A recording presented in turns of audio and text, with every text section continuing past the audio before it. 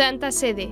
Restauran crucifijo de San Utizio que quedó roto en pedazos tras terremoto. El crucifijo de San Utizio, que quedó fracturado en varios pedazos en uno de los terremotos que golpeó Italia en 2016, fue restaurado por los museos vaticanos y actualmente es expuesto al público para la veneración de los fieles.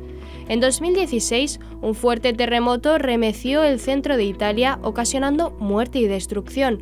Una de las edificaciones más afectadas fue el monasterio de San Utizio, ubicado en el Valle Castoriana de la provincia de Perugia.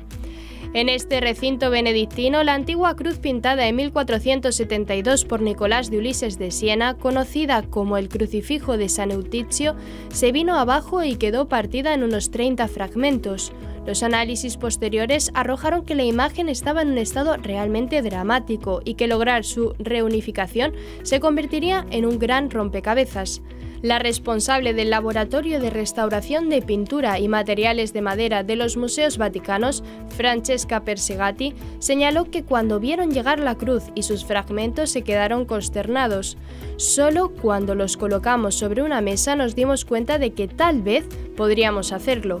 En ese momento comenzó un trabajo a varias manos, como dice el Papa, resaltó Persegati. La cruz restaurada de San Utizio puede ser apreciada por el momento en los museos vaticanos en la exposición titulada Fragmentos de Esperanza.